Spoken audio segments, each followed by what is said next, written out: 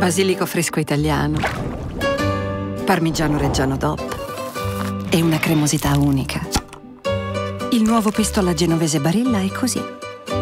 Buonissimo. Buon appetito!